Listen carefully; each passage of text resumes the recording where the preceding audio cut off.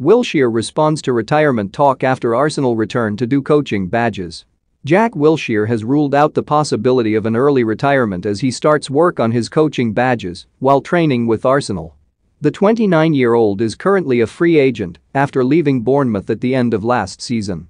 And Wilshere was unsuccessful in finding a new club over the summer, leaving him to return on Arsenal training to maintain fitness levels.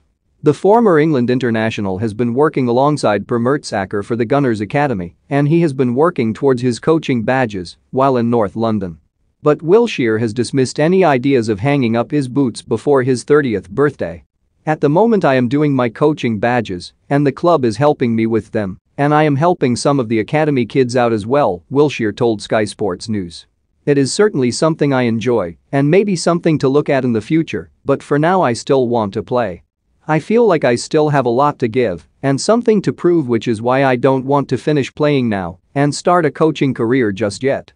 It's nice to be back seeing some old faces who I spent a lot of my life with. Where did it go wrong for Wilshere? Let us know in the comments section.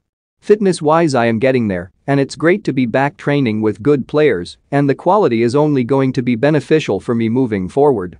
I'm there until January and there's no new